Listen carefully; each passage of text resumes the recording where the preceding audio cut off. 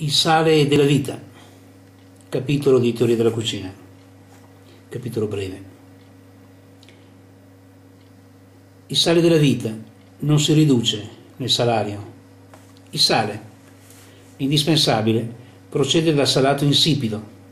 Il sale sta alla punta della combinazione. Infatti, quando non ci sta, apparentemente riemerge nel reale come vita, sapida o insipida relativa e mai assoluta. Senza sale non si può condurre una vita civile. Plinio il Vecchio, 2379, nel, nella Naturalis Historia, allude alla città, sebbene la vita non è una. Non c'è nessuno che non trovi nel cibo un lenitivo alla propria ira afflizione, tristezza e a tutte le passioni. La post-filosofia c'è già a Roma, l'ideologia del cibo come rimedio, come veleno. Per Plinio il cibo esercita un'azione terapeutica non solo sul fisico, ma anche sul morale.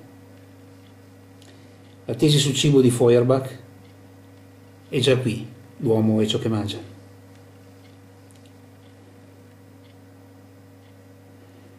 L'accumulo di sapori è funesto. La combinazione è senza accumulo, nel senso che anche disaccumulare i sapori accumulati è funesto.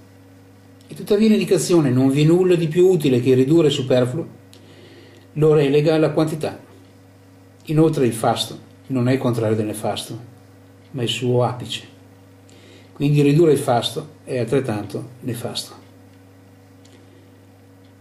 Sapere, sapore, sale, insapido e insipido, cioè la connessione tra sapore e sale.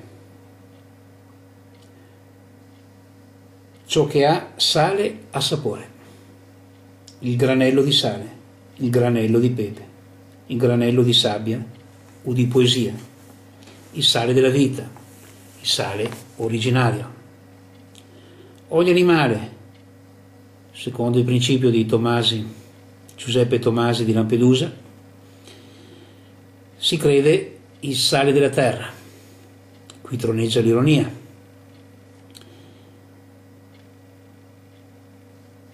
rispetto al sillogismo di Aristotele, ogni uomo, ogni animale. Il sale, non rappresentato nel salario e nemmeno nella cucina sapida o insipida, è il sale della terra il sale che non dipende più dall'essere.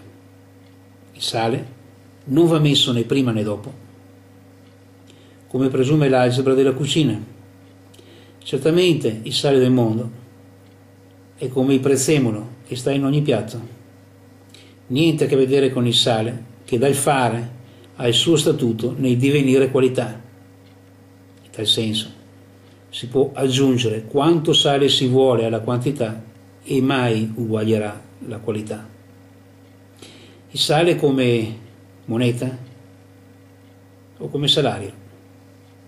Tale rimane la questione essenziale del sale.